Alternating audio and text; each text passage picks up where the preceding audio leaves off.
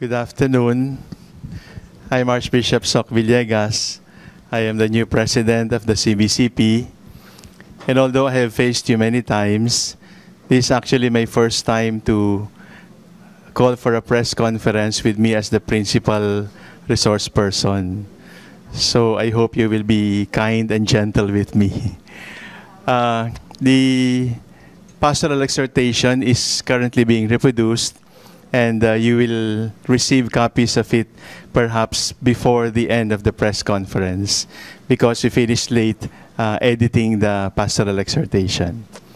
So I'll just tell you the story of the past week. Uh, 2014 is a year of the laity, and uh, this is in preparation for 21, which is the 500th anniversary of the first Mass and first baptism in the Philippines.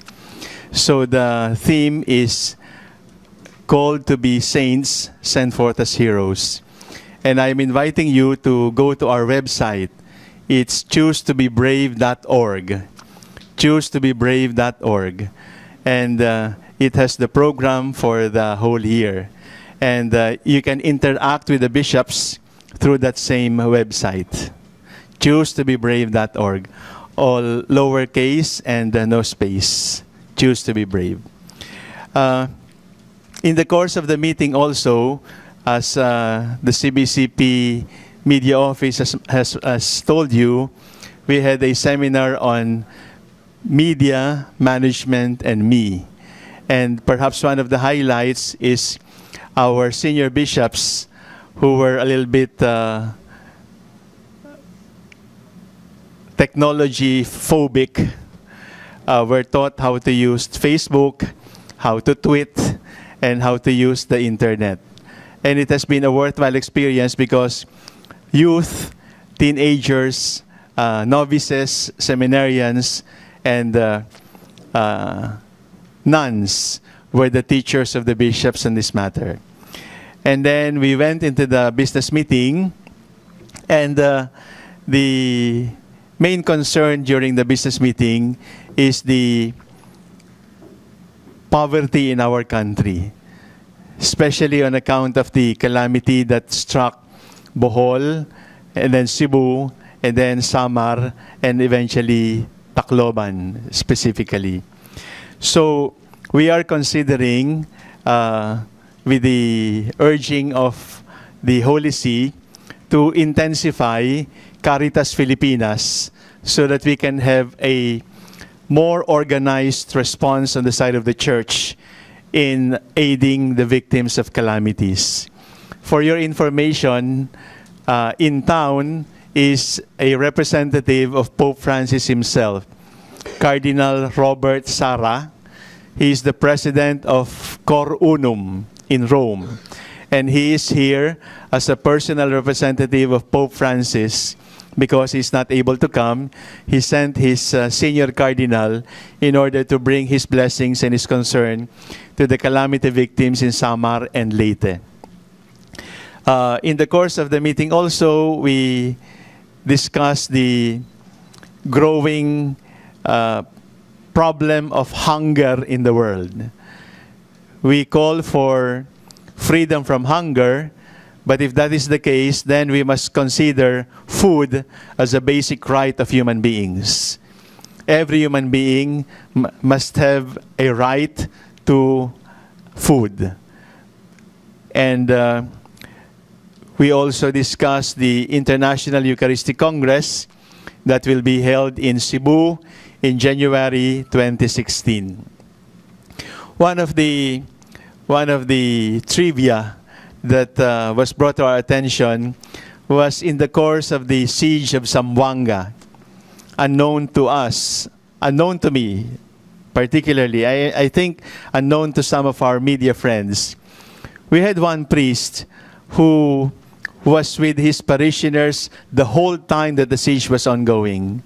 And he led the evacuation, and uh, for two weeks, literally, he did not take a bath because there was no there was no bathroom available. He could not even change his clothes. And then when his parishioners had settled down, he said he wanted to take a break, so he went to Davao. And uh, while resting in the Archbishop's house in Davao, he died. He died from exhaustion. He died literally serving the people of God. These stories we don't encounter every day.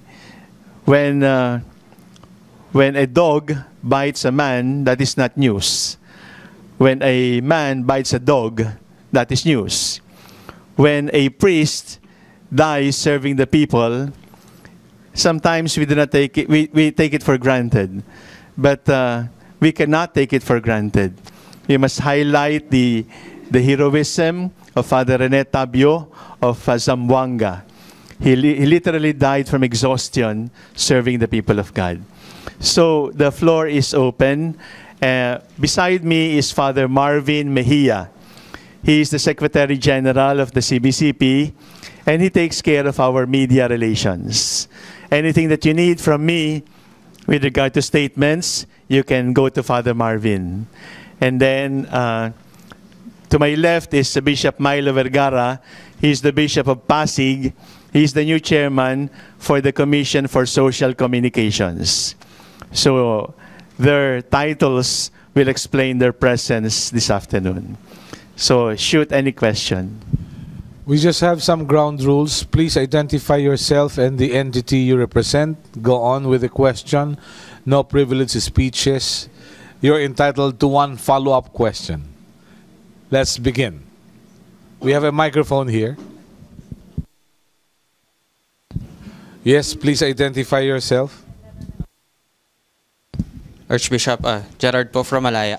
Uh, Archbishop, uh, would you like uh, would you like to give a statement regarding the recently concluded yung uh, peace pact signing between the government and the MILF?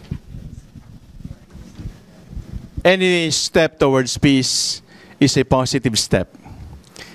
The church exists so that there may be peace among men and women. And any step towards peace is blessed by God and is blessed by the church. Unfortunately, trouble has erupted again in Maguindanao. That is why Cardinal Quevedo did not finish our meeting today. He flew right away to Cotabato in order to attend to the people who are affected by the bombing.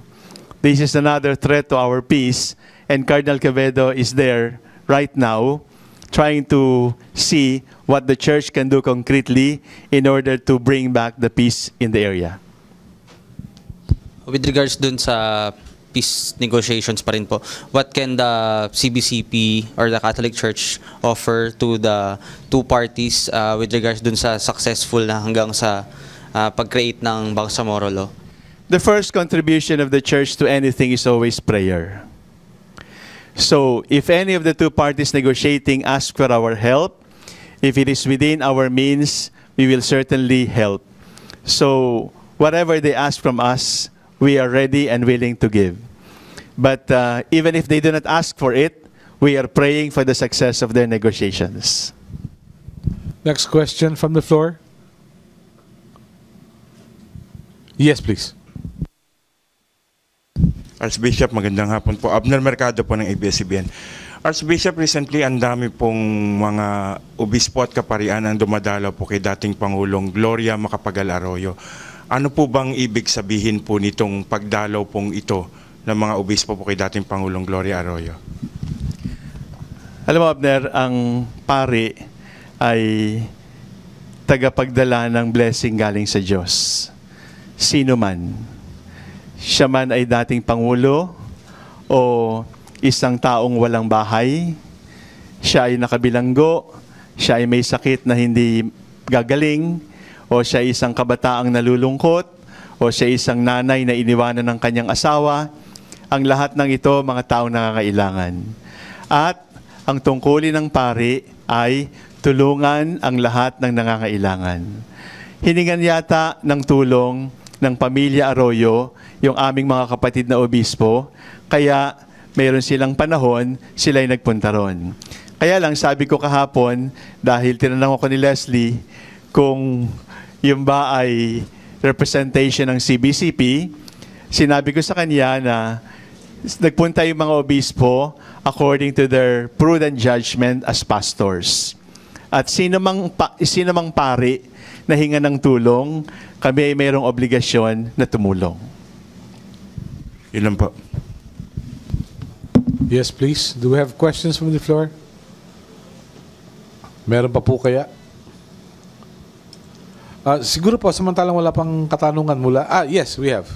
Please identify yourself. Bert Ramirez po from uh, The Manila Times. Um, uh, Bishop, itatanong ko lang po kung um, may plano rin po ba kayong bumisita kay CGMA kung sakali po? Ang tanong ay, ano ba ang kanyang pangangailangan? So, kung kailangan niya ng blessing, siguradong merong taong simbahan na magbibigay ng blessing na kailangan niya. Kung hindi siya makasimba at kailangan niya ng misa para doon, titiyakin namin na yung kanyang pangailangang spiritual ay palaging ah, natatapatan. So, hindi naman ako hinihinga ng tulong, hindi naman ako sinabihan na kailangan akong pumunta rin at humingi sa akin ng blessing o kaya confession. Kaya masaya ako na yung aming mga kapatid na obispo ay nakaka- nakapunta na ron at nabigay yung spiritual na help sa kanila. Pero ulitin ko lang, yon ay personal decision ng bawat pari o bawat obispo.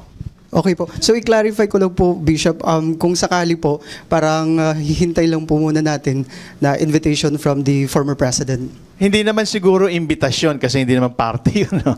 Ah, kung nire-request ako na kailangan nila ng tulong kong spiritual, request, no?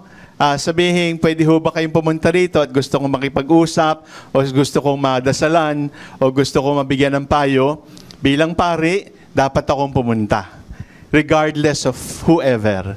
Hindi lang dahil siya ay pangulo, o dating pangulo, kahit sino na humingi sa akin ng tulong, basta kaya ng aking panahon, ay kailangan kong tulungan sapagkat yun yung duty ko galing sa Diyos. Eh. More questions from the floor? Yes, please. Please identify yourself and the entity you come from. Pwede niyo ring talangin si Bishop Milo at saka si Father Marvin.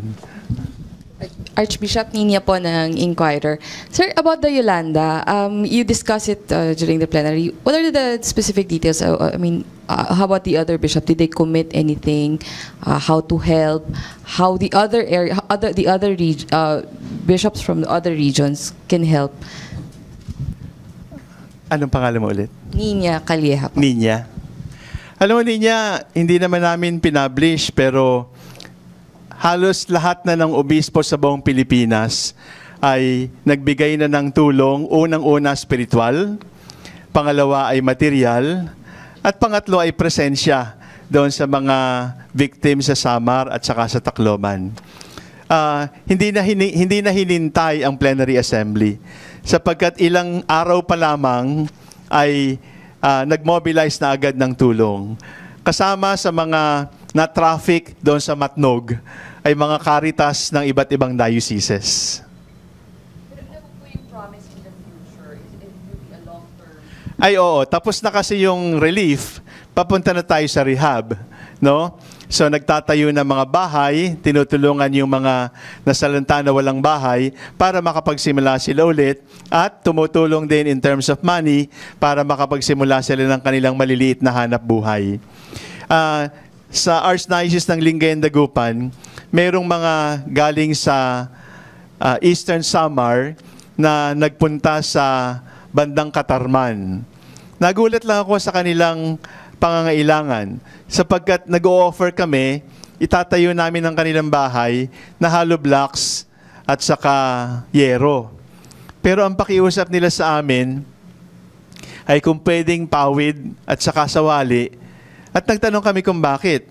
Sabi nila sa amin, nakita ho namin yung tatay namin, nanay naming nasa gasaan ng lumilipad na yero o na, na natamaan ng lumilipad na bato. Hindi ho namin kayang matulog sa isang bahay na merong alaala nung tumama sa ulo ng tatay ko at pumatay sa nanay ko. Yung pawid at saka yung sawali, tama na ho sa amin sa pagkakataong yon. So kailangan nating pakinggan eh. Sapagkat hindi lahat ng maganda at matibay ay dapat nating ibigay. Merong, merong regalo na sa tingin natin ay maganda. Pero merong regalo na sa tingin ng mga tao ay maganda para sa kanila. At kailangan nating igalang yung kanilang damdamin sa ngayon. More questions from the floor? Yes, please. Si NJ. Pakilapit na lang po sa mikropono for brevity. NJ Wieland. I'm writing for National Catholic Reporter. So I want to ask the bishops, because one of the priorities, this, one of the things discussed is Year of the Laity. So I also uh, I, I am concerned. Also, you ha, you and Pope Francis has been talking about um, yung reaching to the unchurched or the ones who are marginalized. And I, I also covered this meeting. Um, there was a group called Catholics for Choice, and there are several other Catholics who call themselves Catholics but are not exactly um, uh, attending church services. They're, in short, they're, they're not um, uh, coming to church. So, um, was it discussed, or is there any um, strategy? Because it's unlikely, I think, that they will log into the website. But are there are there other um, plans to reach out to them? Because I know the bishops said that they want. Several bishops have said they want to reach out to those who do not come to church. How are you going to do it? We have uh, Bishop Milo Vergara. You know, it's very interesting that uh, one of our uh, speakers was uh, uh, Mr. Bo Sanchez, no? and um, uh, he gave a, uh, a striking sharing uh, with regards to what he has been doing um, during this uh, recent uh, months, if not the recent years, on his own evangelization program for the unchurched. Or for those people who have uh, um, not gone to church for a long time no and uh, uh, trying to reach out to them. And he has a program that runs every uh, sunday. It's called the feast no? actually uh, when he was talking i was so struck because uh, um, i think it was two years ago when i was invited to celebrate mass in one of his feasts which was uh, in my territory in Valle Verde. And I saw the flux of people coming, especially young people. no? So um, I think he shared, because at that time, no, when uh, he was uh, doing the feast two years ago, they had like only 106 feasts all over the Philippines. I think if I recall when he was sharing during our seminar, uh, he said there are already 151 feasts no, happening every Sunday that uh, um, caters to those who do not go to church anymore or perhaps have uh, some sort of distaste no, for uh, uh, going to Sunday Mass in the church. No? So I feel this is one strategy that uh, our lay people, our lay evangelists like Bo Sanchez, no, have been doing, and uh, uh, we benefit also as bishops and priests no, from that sharing because we can also strategize in one way or another on how to reach out no, to, to those people. In fact, uh, just uh, uh, another point to follow that up, I was thinking uh, one of the priority programs of uh, the Second Plenary Council of the Philippines, PCP2, is the basic ecclesial communities. If we can adapt that strategy to basic ecclesial communities and really go down no, uh, to the grassroots, I think that will bear much fruit. Any follow-up? Dagdag ko Yes, lang, NJ. Archbishop. Uh, in addition to that, uh, si Bo Sanchez caters to young professionals. They are bored with long liturgies. They don't like they don't like uh, masses that are too solemn and at times for them dragging. So we have we have initiated programs for hurting Catholics disgruntled Catholics, angry Catholics. We are putting up programs for troubled Catholics, troubled friends, we call them, because they are addicted to alcohol or to drugs or even to sex. We are reaching out also to the elderly, the senior citizens, that, uh, you know, in our age, we hide wrinkles.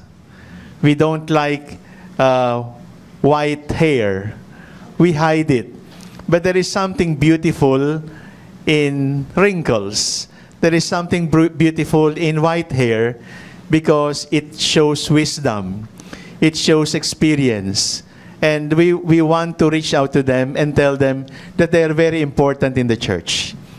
Uh, we are also highlighting the unknown heroes, unknown saints, maybe catechists in villages or priests who struggle do improving the lives of the people. So all of this you will find in Choose to be Brave. But in case, in case they have really uh, an antagonistic uh, uh, feeling towards the church, it would have to be a one-on-one approach. Because even if the, the social media is available, there is no substitute to one person reaching out to another person, sharing with that person the person of Christ Himself. Do you have, and may we know what is like a, a parang ballpark? Uh, do you have an idea of what we are talking about in terms of uh, percentage or just in numbers terms? Um, because some, some people have written that the churches are, are empty, or some are saying no, it's full, no? So what is the extent of this concern?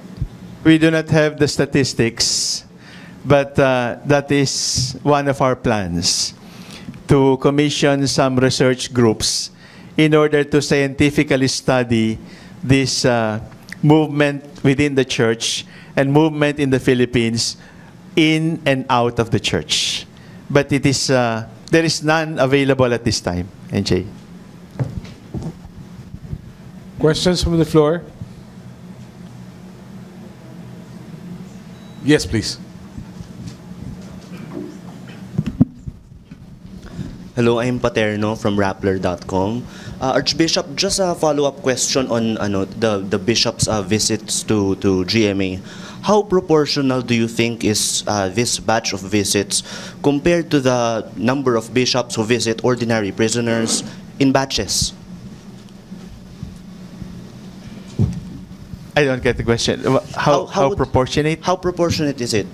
Um, because I read a um, Facebook comment uh, this morning that said uh, we see bishops visiting GMA, but we don't really see this uh, this number of bishops visiting ordinary prisoners, the poor ones. I think that is not a fair judgment. All right. You only count the number of bishops because the, the one in veterans is a high profile detainee. That is why people notice that. When we visit ordinary prisoners, when we visit ordinary jails, we don't tell mass media, we don't tell the local press that we are visiting them, but we do visit them.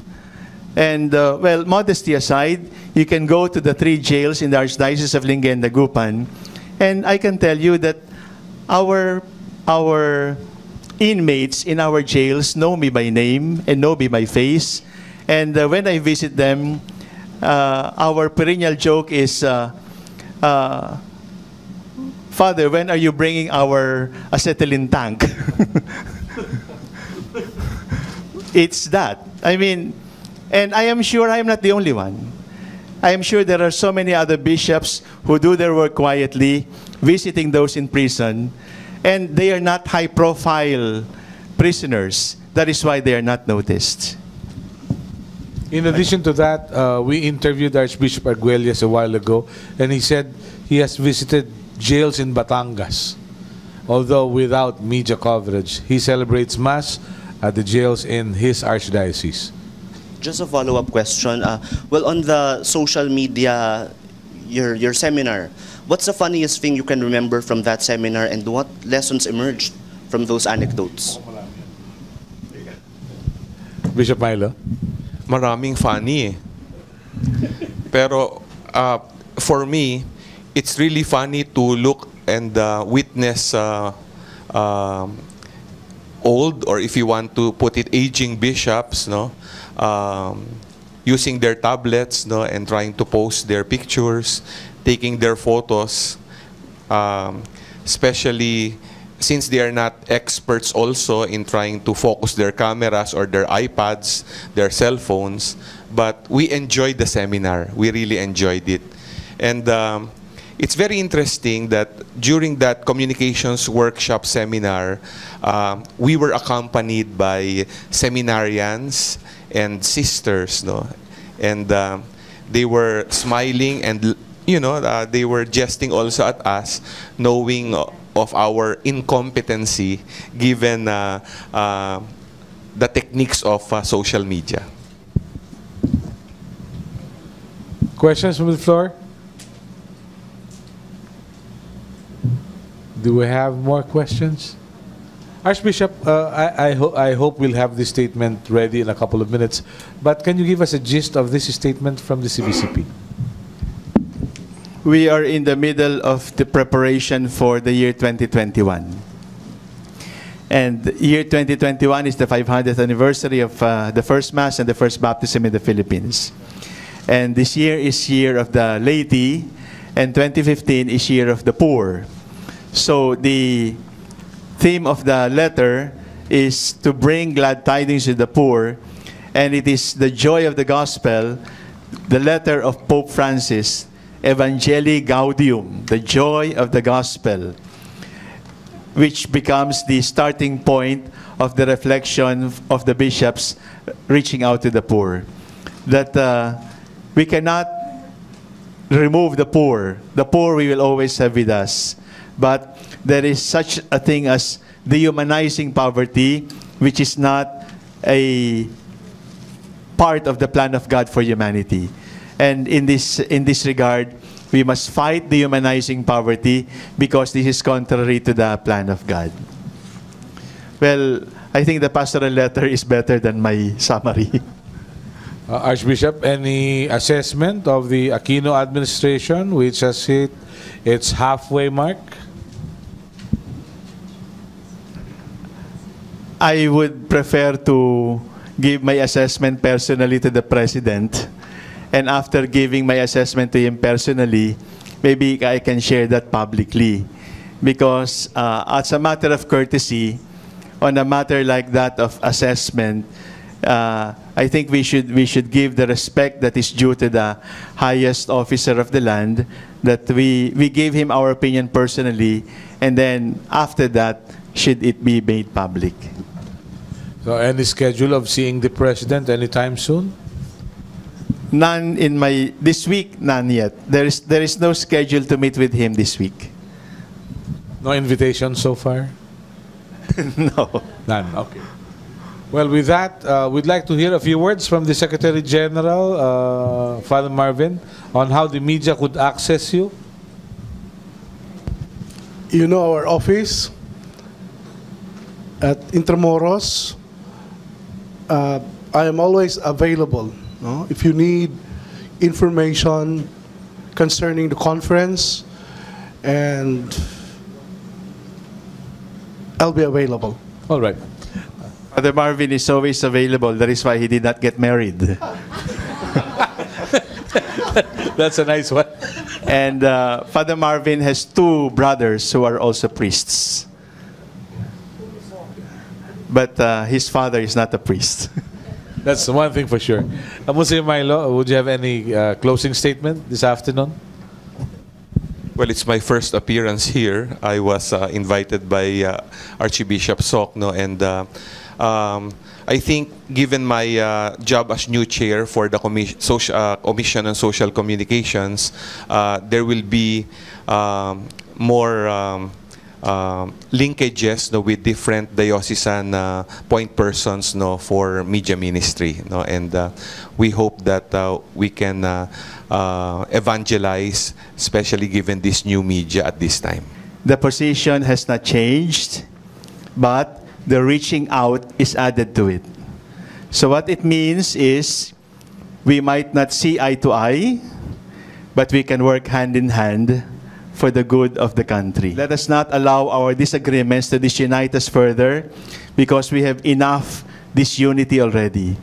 So let us look for the things that unite us. That is the spirit. So we still keep the position that the reproductive health law will be harmful for the spirituality of our country. But we respect those who share a different opinion, and more than that, we reach out to them and let us be friends beyond the RH law. Archbishop, for your message to everyone this afternoon, what will be your mes- message? we look at you as partners. And I hope you will also look at us as partners. We are not just objects of your work. Let us be partners together in bringing out the truth. And uh, the truth must always be proclaimed, no matter what the cost. But the truth must always be proclaimed with much love. Because truth without love cannot liberate. Because at the end of the day, it is only love that will set us free. And with that, uh, we bring to a close this afternoon's uh, press conference. The statement will be available in a couple of minutes. It's already here. Uh, uh, Marvin, uh, Father Marvin will be able to give it to our media practitioners. This is Melo Acuna of uh, saying thank you for being with us. Good afternoon. Let's pray for our country.